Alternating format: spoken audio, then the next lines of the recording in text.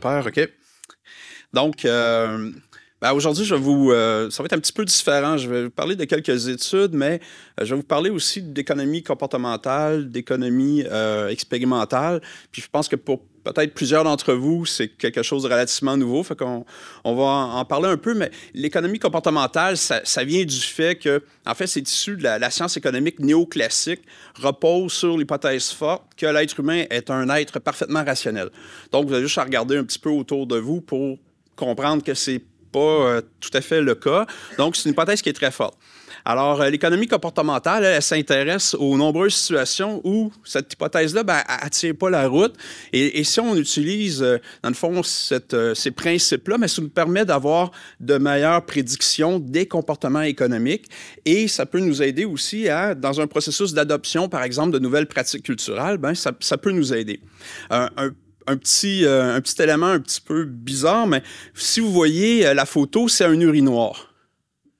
Et euh, il y a une mouche qui est incrustée, donc c'est pas une vraie, hein, on s'entend, qui est incrustée dans l'urinoir. Et on s'aperçoit qu'en mettant cette mouche-là, on réduit de 30% les coûts de nettoyage des urinoirs. Parce que les gens, les hommes, visent la mouche et c'est l'endroit optimal, ce qui fait qu'on réduit les éclats et on réduit les coûts de nettoyage. Donc, c'est un, exemple d'utilisation de l'économie euh, comportementale, mais ce n'est pas le plus intéressant aujourd'hui. Donc, vous l'avez compris, l'économie comportementale, c'est à l'interface entre l'économie et la psychologie. Et euh, on va dire qu'elle s'appuie sur euh, l'économie expérimentale comme outil méthodologique. C'est l'outil le, plus euh, utilisé. Je vais faire un, petit peu, on parlait ce matin, un peu plus d'interaction avec la salle. Fait je vais vous demander de, participer, s'il vous plaît, avec moi à un truc, s'il apparaît. OK. et voilà. Première situation, je vous demanderai de jouer le jeu, s'il vous plaît. On va dire que vous habitez à Québec et euh, vous voulez acheter le dernier téléphone Samsung. Ceux qui sont des fans d'Apple, je vous demanderai de passer cette barrière psychologique-là. Euh, donc, ce téléphone-là, il est 900 à Québec. Mais il y a un marchand à Donnacona. Donnacona, c'est à 40 km de Québec, qui lui offre le même téléphone à 700 Donc, aller-retour à Donnacona, 80 km, la question que je vous pose, c'est est-ce que vous allez à Donnacona pour acheter le téléphone? N'oubliez pas, il faut vous en acheter un. Est-ce que vous faites le voyage? Là, oui, non, dans votre tête. C'est bon? OK. Je veux pas de. Non, non, monsieur. Pas de. Je veux pas vous mettre ça. Deuxième situation. On oublie, on oublie celle qu'on vient de, voir, d'accord? Alors, là, vous souhaitez acheter le dernier ordinateur Surface, vous voyez que je ne suis pas un fan d'Apple, qui est normalement 2200 à Québec. Toutefois, il y a un marchand à Donnacona, on ne sait pas si c'est le même, qui offre le même ordinateur à 2000 Alors là, Donnacona, c'est encore à 80 km aller-retour de Québec. Est-ce que vous allez faire le voyage?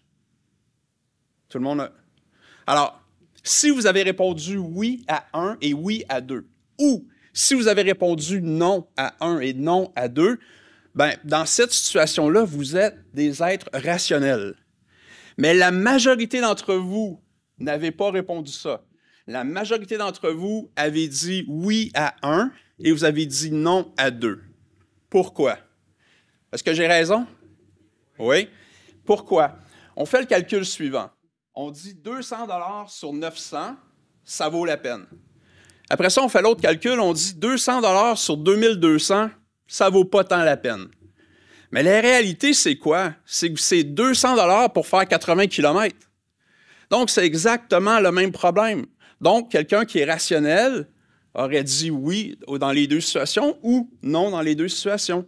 Mais notre cerveau ne fonctionne pas comme ça. Et c'est ça à quoi l'économie comportementale s'intéresse. Alors maintenant, je parler un petit peu d'économie expérimentale. Donc, c'est l'utilisation d'expériences en laboratoire. Vous voyez dans la photo du bas, c'est le laboratoire du Cyrano euh, à Montréal. Et ça peut être, euh, ça n'a pas besoin d'être en laboratoire. Ça peut être papier, ça peut être sur une tablette, ça peut être un sondage téléphonique, ça peut être un paquet de trucs. Mais l'important, c'est que on a un certain niveau de contrôle. Donc, on va bouger comme une variable à la fois. Je vais vous montrer un exemple tantôt. Et on peut reproduire les expériences chose qu'on peut rarement faire en économique. Si j'utilise les banques de données de StatCan ou de, de l'ISQ, ce qui s'est passé le 22 janvier 2023, ça va jamais se reproduire. Toutes les variables économiques qui seraient exactement les mêmes, avec juste une variable qui bouge, ça va jamais arriver. On a développé des outils économétriques pour essayer d'identifier tout ça puis de séparer les morceaux, mais c'est jamais parfait. Donc, ici, j'arrive à contrôler et bouger une chose à la fois et quelqu'un n'est pas d'accord avec mes résultats, il pense que j'ai raté un truc, il va reproduire mon expérience, va dire, regarde, j'ai fait exactement comme toi, voici le même résultat, et si je change cette variable que toi, tu aurais dû changer, voici, je change complètement le résultat. Donc, c'est la méthode scientifique appliquée à l'économie. Alors, moi, aujourd'hui, je vais vous parler de trois, très rapidement, de trois, euh, trois études interreliées. La première, c'est, on a regardé les impacts du cadrage sur le consentement à recevoir une rétribution pour adopter des pratiques culturelles durables dans le cadre du, du PAD. La deuxième, c'est qu'on a mesuré le consentement à payer des Québécois euh, pour combien vous seriez prêt à payer pour que les agriculteurs dans le littoral du lac Saint-Pierre adoptent de meilleures pratiques culturelles qui vont avoir un impact positif sur les services, les biens et services euh, écologiques? Et le troisième, c'est de caractériser le rôle des facteurs comportementaux dans l'acceptation des pratiques culturelles du nouveau régime transitoire, du régime transitoire. Pardon, dans le littoral du lac Saint-Pierre. Alors, on utilise ici les, trois concepts. Il y a l'effet de cadrage, le biais hypothétique et la théorie des perspectives. Donc, je vais vous parler un petit peu de ces, trois trucs-là. C'est quoi l'effet de cadrage? En gros, c'est un biais cognitif qui fait en sorte qu'on va réagir différemment selon la façon dont je vais vous présenter l'information. Et ça découle de la théorie des perspectives qu'on va voir dans un instant. Le biais hypothétique, en fait, c'est la différence entre ce que je vais déclarer. Combien tu es prêt à payer pour un truc en situation hypothétique? Ça veut dire que je ne fais pas de transaction. Donc, combien tu serais prêt à payer pour tel truc? Je vais déclarer de quoi? Et puis là, je te demande de faire transaction, puis tu me dis, oh, je ne suis pas prêt à payer le même montant. L'écart entre les deux montants, c'est le biais hypothétique. Si je m'intéresse maintenant à la théorie des perspectives, pardon, alors il y a deux points importants sur ce graphique. Il y a le point de référence et voyez l'amplitude. Je ne sais pas si j'ai un petit marqueur, en tout cas, peu importe. Alors, vous voyez que pour un déplacement ici de 0,5, l'échelle n'a pas d'importance, ça peut être 5 millions, 5 milliards, peu importe, mais, ou, ou 5 sous. 5 sous peut-être pas, mais si on se déplace d'une certaine distance, vous voyez l'amplitude sur le côté positif du graphique et vous voyez que pour la même distance, le même déplacement, j'ai une amplitude nettement supérieure dans la partie négative. Ce que ça dit, et ça les psychologues également l'ont démontré, l'être humain, on ressent une perte nettement plus fortement qu'un gain équivalent. D'accord? On va partir de ça. Puis le point de référence, lui, est extrêmement important. Je vais vous donner un exemple. Imaginez que vous avez une voiture qui a eu de meilleurs jours. Hein? Elle a une quinzaine d'années, puis euh, ça roule plus ou moins bien. Puis finalement, votre bazou finit par vous lâcher et vous devez aller, euh, vous le faites réparer. Puis la personne qui est le garagiste qui le répare, il veut vous prêter une voiture, puis la seule voiture qu'il peut vous prêter, c'est une BMW de l'année. Là, vous embarquez dans la BMW, puis l'écart est incroyable. Vous, c'est le jour et la nuit, n'est-ce pas? Et puis là, après ça, ben là, la voiture est, réparée, puis il dit, ça fera pas longtemps avec cette voiture-là. Fait que finalement, vous décidez de passer à l'action, puis vous vous achetez une autre voiture. Je vais m'acheter une, voiture neuve, mais je veux pas quand même dépenser de l'argent pour une BMW. Fait que je m'achète une Hyundai Elantra. Une bonne voiture, bien équipée, très fiable. Là, vous vous embarquez, vous passez de la BMW à votre Hyundai Elantra, puis vous êtes comme, Hein? C'est un peu, un peu triste. Un jour un peu, un peu triste. Mais imaginez que vous étiez passé de votre bazou à la Hyundai Elantra. Vous auriez capoté votre vie. Hein? Vous auriez dit Waouh, fantastique! Qu'est-ce qui s'est passé? Votre point de référence a changé. Quand je passe de mon bazou à la Hyundai Elantra, waouh, j'ai un gain incroyable. Mais quand je passe d'une BMW à ma Hyundai Elantra, j'ai une perte par rapport à mon point de référence. Alors, vous voyez, la, résultante est la même. À la fin de la journée, tu es dans une Hyundai Elantra, dans, un, dans une situation, tu es super heureux, puis dans l'autre, tu es un peu triste. Même résultat. Donc, c'est ça le point de référence. Alors, au niveau du pad, Alors, c'est un peu chargé, là, ce, ce, cet là je suis désolé, ce, ce diapo-là. Mais en gros, je vais vous regarder le, le, petit, euh, le petit tableau coût, bénéfice, sans préambule, avec préambule. En gros, on avait trois variables. Alors, dans, dans une situation, on a présenté l'information comme on va vous compenser pour le coût. Euh, associé à des mesures, euh, à des, des, pratiques culturelles. Et puis dans l'autre, on l'a dit, on va, on l'a présenté plutôt comme un, encouragement, comme un incitatif. Vous avez les petits préambules ici.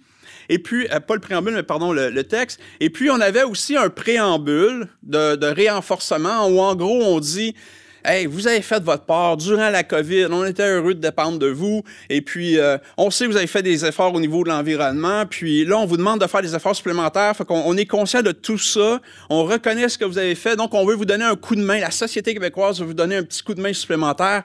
Et puis, euh, ben, voici le programme. Alors, on, avait ça. Alors là, si vous regardez le, petit tableau, on avait quatre traitements finalement. On avait 500, 489 euh, personnes qui ont participé. Il y en a qui étaient dans le traitement Q1, c'est-à-dire que l'info est présentée comme un coût, il n'y a pas de préambule. Dans le Q2, il y en a qui ont eu l'info présentée comme un coût, mais avec préambule et ainsi de suite. Et qu'est-ce qu'on a eu comme euh, résultat? Ben, si vous regardez les graphiques, c'est peut-être pas évident, mais concentrez-vous sur cette partie. On, me dit que je, nomme mal mes couleurs, mais je crois que c'est orange. Alors, la, partie orange, c'est les gens qui ont dit la compensation ou la rétribution est insuffisante. Alors, on voit que si je regarde la situation où j'ai un, c'est présenté comme un coût sans renforcement, euh, et si je regarde avec euh, le bénéfice sans renforcement, vous pouvez voir que la, la bande orange diminue quand c'est présenté comme un bénéfice. Donc, statistiquement, ce qu'on s'aperçoit, c'est que quand je présente l'information comme la compensation d'un coût, donc j'associe à une perte, les gens demandent plus d'argent pour une même action que si j'ai présenté l'information sous forme d'un encouragement, une aide qui peut être associée à un gain. D'accord? Alors, c'est statistiquement significatif. Et à notre grande surprise, quand on présente le préambule, mais les gens réagissent mal. Avec le préambule, les gens veulent plus d'argent pour faire la même action. Et là, euh, on est un, peu surpris de ça.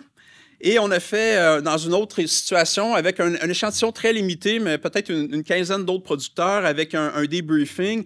Et puis on, soupçonne qu'on a généré un sentiment, euh, une, émotion forte et, les gens ont réagi à cette émotion-là, on aurait généré un sentiment de non-reconnaissance, d'injustice. Dans le fond, c'est comme si on leur, on leur avait rappelé comment ils sont importants puis comment on les a maltraités dans un sens, alors qu'on voulait l'effet inverse. Mais c'est le résultat qu'on a eu, statistiquement significatif également. Alors, Qu'est-ce qu'on conclut de ça? C'est que l'effet de cadrage y affecte significativement le niveau de rétribution demandé. La meilleure combinaison, dans notre cas, c'est de présenter l'info sous forme d'incitatif et de ne pas, prendre le texte de renforcement, bien entendu. Et euh, c'est donc dire que pour un montant, comme je l'ai déjà indiqué, pour un, un même montant, euh, les gens vont être plus enclins à, faire une action euh, dans un cas plutôt que dans l'autre. la, deuxième étude, c'est celle du consentement à payer. Alors, euh, on sait que, ça c'est dans le littoral du lac Saint-Pierre, on, sait que les pratiques ont changé. Il y a eu une époque, plus dans les années 80, c'était davantage du fourrage, c'était des prairies qu'on avait dans cette zone-là. Et maintenant, c'est une zone maïs-soya importante. Alors, euh, on a présenté ça aux, individus dans un. avec C'est un petit peu plus compliqué que ça, mais on avait 1500 personnes qui ont répondu euh, à notre questionnaire, qui, est sous format d'économie expérimentale. Chaque répondant avait six choix qui étaient euh, entre le statu quo et deux options parmi les trois suivantes, c'est-à-dire culture de couverture, culture de couverture avec zone tampon, donc bande riveraine, et culture de couverture avec zone tampon et prairie permanente friche ou friche. Et il y avait cinq versions du questionnaire. Donc, tout le monde n'a pas la même version. Puis, les coûts associés à. En fait, l'argent demandé aux individus bouge aussi euh, parmi les questionnaires. Et ça, ça nous permet de tracer une fonction de demande par la suite. Alors, d'autres caractéristiques, on a demandé un paiement unique. Parfois, il y a des études qui vont dire ben, combien tu es prêt à payer par année, mais on ne sait pas combien d'années. Donc, ça devient un petit peu flou. Euh, c'était pour la famille. Et puis, on, avait, on a pris en considération également la conséquence perçue. Il y a beaucoup, il y a une littérature qui existe qui indique que si les gens, on leur pose la question, une série de questions, qu'est-ce que tu penses qui va arriver avec ce questionnaire-là? Alors, c'est les, les, comités d'éthique nous aident là-dessus, parce qu'on est obligé de dire d'où vient l'argent. Dans ce cas-ci, on dit, ben l'argent vient euh, du pôle, euh, il y a le ministère de l'Environnement, il, y a le MAPAC d'impliquer, donc ça fait sérieux. Est-ce que, qu'est-ce que tu penses qui va se passer avec ça? Ça va aller sur une tablette ou, on espère que non, ou euh, ça va influencer les résultats ou ce genre de trucs-là? Et plus les gens perçoivent que ça va faire quelque chose, plus ils répondent comme si on était en situation de marché. Alors, parfois, ça fait diminuer le consentement à payer, parfois, ça le fait augmenter. Et là, il y a une littérature là-dessus que je ne vais pas aborder. Alors, bien que notre capture du consentement à payer a été réalisée dans les règles de l'art, donc on a respecté tous les critères, il y en a plusieurs, euh, notre objectif, ce n'est pas d'arriver avec un chiffre absolu. Notre objectif, c'est plus de vérifier est-ce qu'il y a une ouverture, puis un peu la taille de cette ouverture-là de la part de la population pour payer les agriculteurs pour qu'ils changent leurs pratiques culturelles, pour que j'en bénéficie d'un point de vue environnemental. Alors, on sait que c'est imparfait ce qu'on a fait. Mais je vous dirais que c'est préférable à un sondage. Puis j'ai vu des sondages, puis je m'excuse pour tous les, employés du gouvernement, c'est pas, pas une attaque absolument pas. Les employés du secteur public, j'étais en grève l'année dernière moi-même, mais euh, c'est mieux qu'un sondage sans conséquences où on dit est-ce que vous appuyez les, gens du secteur public? Oui. Mais si on avait écrit à côté, mais toi, ça va te coûter 250$ de plus d'impôts l'année prochaine, la réponse aurait peut-être été différente. Alors, c'est quoi nos résultats? Le, montant n'est pas nécessairement important. Dans ce cas ici, lorsque la conséquence perçue est prise en considération, les montants augmentent. Mais on voit que si on s'intéresse, puis vous allez voir tantôt pourquoi je me concentre sur la prairie permanente, on parle de euh, environ 700 dollars par famille qui a été euh, qui, a participé à l'étude. D'autres éléments, les hommes en moyenne donnent 236 dollars de moins que les femmes. C'est toujours le cas. Les, hommes, on est un peu des merdes là-dessus. Donc, euh, les, répondants qui ont fait des dons à des organisations environnementales donnent en moyenne 122 dollars de moins. Ça, ça nous rassure un peu parce que ça nous dit que les gens prennent en considération leurs contraintes budgétaires. Alors, euh, ce qu'on s'aperçoit, c'est qu'en gros, les, résultats indiquent clairement qu'il y a une marge de manœuvre importante qui est largement supérieure à la valeur des 5000 hectares qui sont cultivés présentement dans le littoral du lac Saint-Pierre. Alors, ça veut dire que si jamais on mettait en place un vrai mécanisme avec, on demandait aux gens, on va racheter ces terres-là, on va les sortir de la production, on va les mettre dans cette, euh, en friche ou peu importe, ben, selon notre étude, on, aurait, on ramasserait l'argent. Alors, j'aimerais faire l'expérience et, voir si ça se réaliserait. Alors, ça, c'était la, deuxième étude. La troisième, euh, on s'intéresse, dans le fond, à, l'impact du, point de référence et de la perception, dans le fond, sur les nouvelles. Euh, en fait, on y va plus vite. Il y a eu un nouveau, il y a eu le régime transitoire 1er mars 2022. Alors, ça a eu euh, quelques impacts dans le champ, puis je vais passer rapidement parce que je vais, je vais le détailler ici. C'est quoi les faits? Si on regarde les choses très froidement. La réglementation avant mars 2022 interdisait l'agriculture dans le littoral du lac Saint-Pierre depuis une trentaine d'années. Vous avez vu la photo tantôt, clairement, ce n'était pas appliqué. Hein? Donc, mais c'était là, c'était cette réglementation-là, elle existe. Et puis, il y a un grand nombre de terres agricoles situées dans le littoral qui ont été transigées durant cette période sans aucune indication à notre connaissance de la part des notaires. Vous savez, si vous achetez une maison puis que votre cabanon y embarque chez le voisin, le notaire va vous le dire. Tu veux-tu faire la transaction pareil parce que ton cabanon, le bout du toit de ton cabanon, est chez le voisin. Ici, il n'y a personne qui a dit Oh, oh, il y a un règlement qui, en théorie, t'empêche de cultiver ici. Non. Le gouvernement du Québec, via la financière, a assuré et assure toujours d'ailleurs les récoltes de ces terres agricoles et a consenti des prêts pour l'achat de ces terres. Ça, c'est un fait. Il n'y a aucune instance gouvernementale qui a envoyé un signal quelconque aux agriculteurs indiquant que ces terres sont cultivées illégalement. S'il y a eu des signaux, ils ne les ont pas captés parce que parmi les agriculteurs consultés, aucun n'était au fait de la réglementation lors de l'acquisition de leurs terres en littoral. Et nos rencontres ont eu lieu alors que cette réglementation-là était mise en place. Et même à ce moment, il y a une infime minorité qui comprend qu'ils étaient auparavant en situation d'illégalité. Alors ça, c'est les faits. Et on a parlé de point de référence tantôt. Vous vous souvenez avec ma voiture? À votre avis, c'est quoi le point de référence de ces agriculteurs-là? Ben, c'est le statu quo. Désolé, j'ai juste trouvé une image en anglais avec un S à statu quo, mais c'est le statu quo. Alors, si on, se met dans cette, avec la théorie des perspectives, finalement, euh, si le point de référence, c'est le statu quo, puis là, tu m'arrives avec un régime transitoire qui m'impose des contraintes, c'est clair que c'est une perte. C'est clair que je vais ressentir une perte. Qu'est-ce qui aurait pu être fait?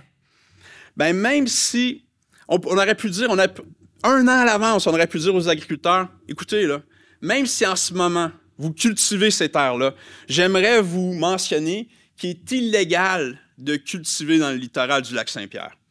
Et après ça, on pourrait leur dire, là, si on, a, la réglementation, là, elle existe. J'ai juste à l'appliquer et vous pourrez même pas avoir accès à vos champs en littoral pour faire votre maïs soya.